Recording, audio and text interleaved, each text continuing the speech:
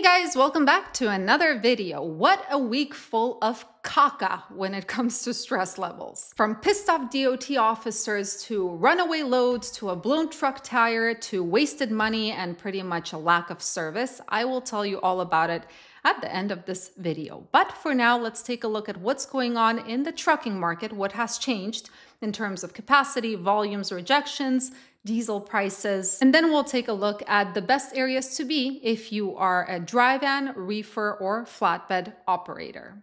Ready? Let's go!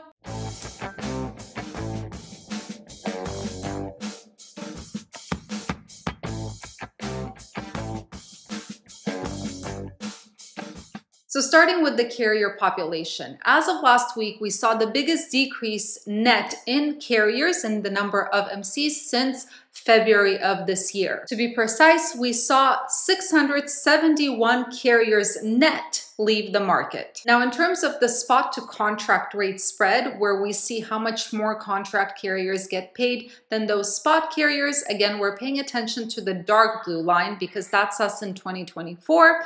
The light blue is 2023. So again, as a reminder, what we want to see is this line going higher to make the margin smaller. Currently, contract carriers on average are earning about 60 cents per mile more than those spot carriers. But if you take a look at this chart as a whole, you can see that this year contract carriers have been earning less than last year. Now let's talk about the general freight volume. White line is us in 2024, blue line is 2023. So we can see that, yeah, there was a drop in volume because of Labor Day, of course, but now it's shot up. So volumes are high again, and again, they are higher than they were in 2023, which is a pattern we have been seeing throughout this year. The question is, what is going on with rejections? Well, rejections, the white line, which is us this year compared to last year, rejections also seem to be more or less recovering a little bit from uh, Labor Day weekend, but it's nothing to get too excited about because rejections currently are at 4.57%. So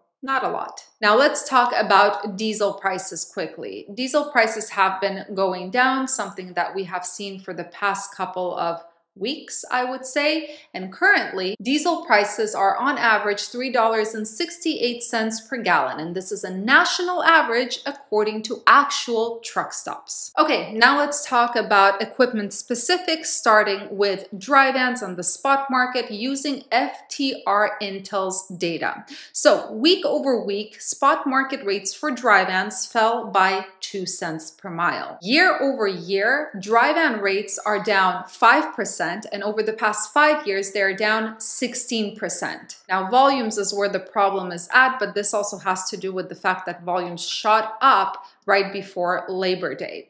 Volumes are down 20% week over week. Now, if we're comparing to last year, volumes are down 30%. And over the past five years, volumes are down 44%. Now, in order for us to figure out where the better areas for dry vans are, we take a look at Sonar's map, rejections and volumes, and just using this data, I create this table which makes it easier to understand. So let's start with the top five in the volume category and in the rejection category. These do not mean these market areas just because they're on this list doesn't mean these are the best market areas to be, but it's just good to know. So top five volume states in the general market, not just the spot market for dry vans are Ontario, California, Los Angeles, California, Atlanta, Georgia, Detroit, Michigan, and Dallas, Texas. Now, in terms of the top five rejection areas for dry vans, again, doesn't mean these are the best markets, are Cedar Rapids, Iowa, Des Moines, Iowa, Green Bay, Wisconsin, Dubuque, Iowa, and Rock Island, Illinois. Now I'm gonna make this smaller so that you can understand. So here we have the top five contract to spot. What I do is I take the volumes and rejections in each market area to see where more loads actually hit the spot market from the contract market. Those areas are Houston, Texas, Ontario, California, Green Bay, Wisconsin, Los Angeles, California, and Atlanta, Georgia. But then what I do is I look at the DAT heat maps to see what it's like on the spot market because this tells us about the volume, but it doesn't tell us about the capacity. So in this column, you will see the capacity situation in each of these markets specifically. The higher the number, seven being the highest, the tighter the capacity. So there's really a lack of trucks compared to the amount of loads. So you can see that Houston, Ontario, Los Angeles, and Atlanta actually, for dry vans, don't have enough capacity to cover the amount of loads in that area. Green Bay, Wisconsin is so-so.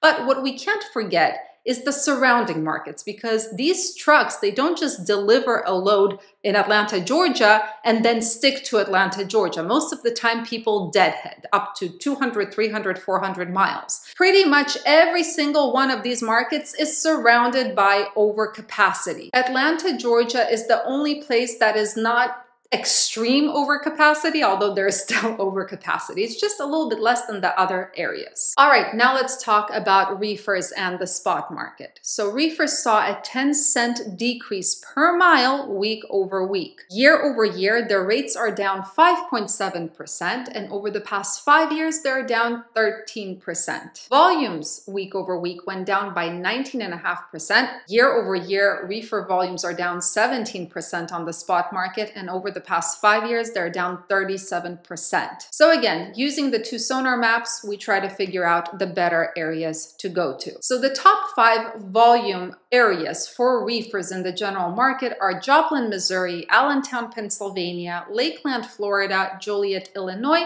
and Atlanta, Georgia. In terms of rejections, we have Cedar Rapids, Iowa, Sioux Falls, South Dakota, Pendleton, Oregon, Little Rock, Arkansas, and North Platte, Nebraska. Now, putting these two together, we can figure out where more contract volume falls to the spot market, and those areas are Twin Falls, Idaho, Pendleton, Oregon, Allentown, Pennsylvania, Joplin, Missouri, and Joliet, Illinois. Now, looking at these particular market areas without looking around, we can see that Twin Falls, Pendleton, and Allentown, they don't have enough trucks exactly there to pick up the amount of loads. Uh, Joplin, Missouri, and Joliet, Illinois have a little bit more capacity, although it's still a tight market. However, looking at the surrounding areas, we can see that Twin Falls is actually good because there is a lack of surrounding capacity. Everything else has some capacity to it. Now in the brackets, you will see where that capacity would be deadheading from. Finally, last but not least, we of course have our flatbeds. And flatbeds uh, saw a 3 cent increase week over week after experiencing, I believe it was 10 weeks of straight decreases. So at least a little bit of fresh air for flatbeds? I don't know. Now, rate year over year is down 4%, and over the past five years, flatbed rates are actually down uh, 9%. Volumes week over week are down 9.2%. So, yeah, definitely decreased from last week. However, year over year, volumes are up 6.5%. And over the past five years, unfortunately, they are down 31%. So now let's talk about the better areas to go for flatbeds. And again, I do Truckstop maps just because I don't have, um, or Sonar doesn't have data for flatbeds as much. So this is just the spot market. The darker an area is, the more loads come out of that area. Nothing really changes, although some areas did start getting lighter. Funny enough, Texas is not the darkest state anymore. Usually Texas has the most amount of loads. Now it's not the case. Now let's take a look at capacity. So same concept, the darker an area is, the more capacity in that area. And something that really jumps out at you is that while Texas doesn't have as many loads as some other states, it does have the most amount of capacity. And I'm talking about over 4,000 trucks. In terms of the load volume, it's a little bit under 2,000. So you can imagine. So you can see capacity really likes to hang out in Texas, in the Midwest, in the East Coast, Coast and in California. Putting those two together, we get the load to truck ratio to figure out where are the better areas to negotiate in. So anything red is overcapacity. There are not enough loads for the amount of trucks. California just turned red. Anything beige is going to be about one load per truck. Anything yellow like Arkansas is going to be about two loads per truck and anything green, Washington, Oregon, Mississippi, and Alabama, these are over three loads per truck. In general, As of last week, the situation on a national level got a little bit better for flatbeds in terms of the load to truck ratio. It was 0.97 loads per truck before, now it's 0.99. So still less than a load per truck nationally, uh, technically speaking, but it did get a little bit better. So let's be real. The market is the market. There are some positive signs like the diesel prices going down. There are some negative signs like the spot market basically crashing and drowning and burning. But darn it, what is happening to this industry and the people who are related to this industry in one way or another? And I'm not talking about truckers here. So this week alone, we got a pissed off, like pissed off DOT officer who decided to do a random roadside inspection,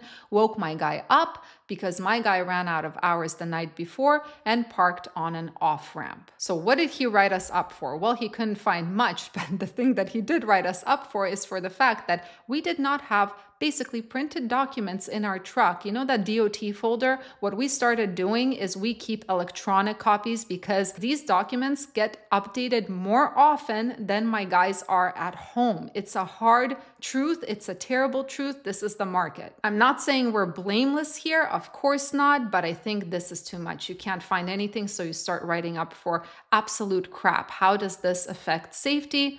Again, I'm not gonna go against. Um, the rule of law, I suppose. I suppose you do have to have printed out documents in your truck, otherwise, someone is gonna die somewhere. Anyway, then we had several situations where you book a load and then magically, somehow, right before you come to the shipper, it is moved for the next day and you're basically stuck because you know me, I wait loads out, and by the time we get loaded, it's pretty late, which means that I take the risk of having my truck sit empty. So this load gets moved to a different day or magically gets canceled altogether. I wonder why. So so there's the load issue. And then we had the blown tire issue, which was the cherry on top of my week. So let me tell you the story.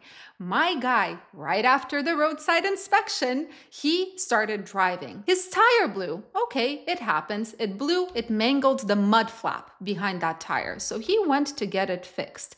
They fixed the tire for him, they fixed the mud flap for him. But when he looked at it, he said, Listen, the mud flap rod, I think it needs to be moved a little bit more back. Now, the repair shop insisted that no, it does not. It's perfectly fine. You're good to go. So, my guy, of course, trusting these professionals, right? He heads down the road. And what happens within 200 miles of him leaving that darn shop?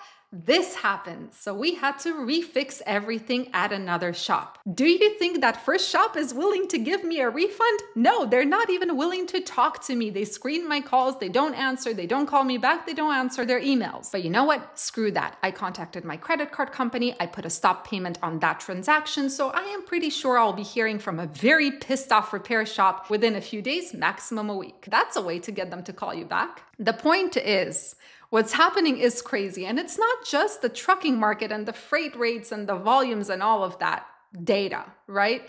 It's the people, the anger, the lack of service, the lack of human decency. And I have a question for you guys. Have you been feeling the same way I'm feeling today? Do you feel like something happened to the actual people, the people who we rely on every day for our operations, right? From the person who is fixing our truck to the shipper to the broker, what happened to the people. I'm very curious to hear your experiences. Anyway, guys, thank you so much for joining me and watching today. I hope you have a fantastic week or rest of your week. Stay safe, stay healthy, and keep learning. See you in the next video.